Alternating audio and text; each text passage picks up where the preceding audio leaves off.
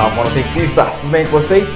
Hoje eu vou te mostrar um item para que você fique atento, fique alerta, porque pode encontrar em diversos condomínios que são os Fire Stop.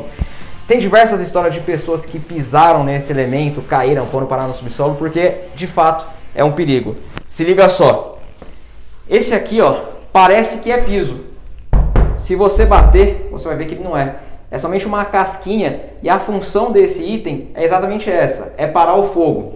Esse faz parte do shaft, é um elemento vazado que vai de cima até embaixo do prédio, ele vai correr o empreendimento inteiro. Se por acaso pegar fogo nesse andar, nesse pavimento, como medida preventiva para o fogo não alastrar para os próximos andares, você tem isso aqui. Você tem o fire stop.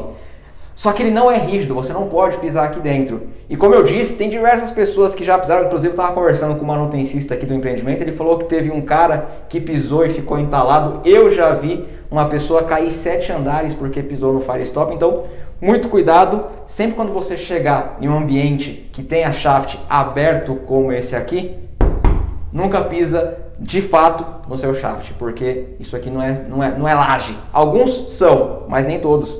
Você pode encontrar esse caso aqui. E como que é composto com Firestop? Lá no vídeo deu a impressão de que ele é somente aquela casquinha ali de cimento, só que não é. Você vai entender exatamente como que é a composição dele. Se liga só. Aqui, esse pedaço aqui é a sua laje. Tá vendo só? Tudo aqui de azul é a laje. Porém, para eu poder passar a tubulação, para eu poder ter espaço para fazer a interligação do empreendimento de um andar para o outro, eu sou obrigado a fazer um vão. E aqui eu tenho as minhas tubulações, ó.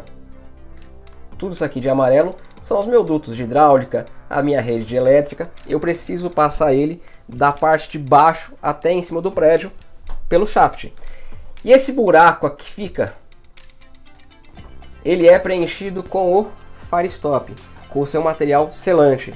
A função dele é evitar se por acaso, obviamente, tiver um incêndio em um andar, que o fogo passe do andar de baixo para o andar de cima. Aqui, ó, se eu tiver fogo, se eu tiver fogo aqui, ó, ele vai bater nessa proteção, obviamente que não vai segurar eternamente, mas você vai ter um retardo ali daquela propagação do incêndio. Então ele fica preso aqui nessa parte de baixo. Essa partezinha rosa aqui é o seu material isolante, é o seu material selante, é o Firestop de fato. E o que, que alguns prédios fazem? Eles colocam uma casquinha, eles colocam esse pedacinho aqui, que é aquela que eu bato no vídeo que eu mostro. Olha só, não pisa aqui.